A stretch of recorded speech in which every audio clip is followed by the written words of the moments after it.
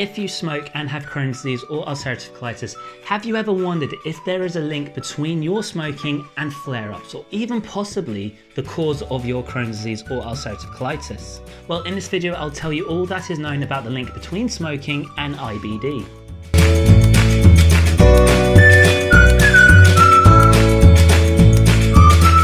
Back to my channel, the only place for Crohn's and colitis tips, tricks and information. So make sure you subscribe to my channel and hit the bell to be notified every time I post a video. As well as if you want to join the exclusive community of people who receive my personal tips and tricks on living with Crohn's disease, then make sure you sign up to my newsletter by hitting the link in the description box below. Right, so let's just get straight into things. Research has suggested that people who smoke are more likely to develop Crohn's disease.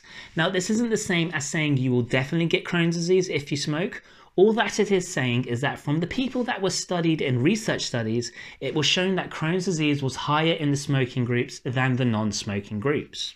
Why this is, we do not know, and research is still looking into this.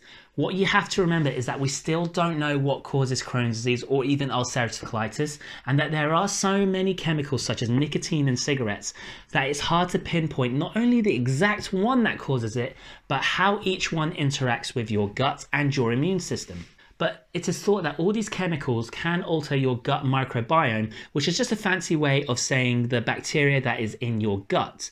And the way it alters the bacteria in your gut can cause a change in your bowel habit and the way your gut functions. So you may experience more bloating, wind, diarrhea, or even more stomach cramps. Essentially, if you are a smoker and have Crohn's disease, then research suggests that smoking can actually make your Crohn's disease worse. And the way it does this, it can increase the severity of your symptoms that you experience.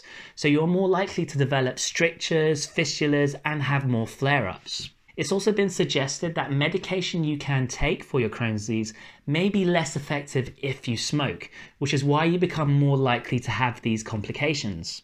So to summarize, we don't exactly know what is in cigarettes that can lead to Crohn's disease and ulcerative colitis, but remember there are so many factors that are involved with these diseases and we don't know which ones are actually responsible for causing them. So now you have a better understanding of Crohn's disease and smoking, make sure you check out these useful tips and tricks on Crohn's disease and ulcerative colitis. Hit that subscribe button and the bell to be notified every time I post a video, as well as leaving a like and a comment if you enjoyed this and found it useful. And I can't wait to see you all next week.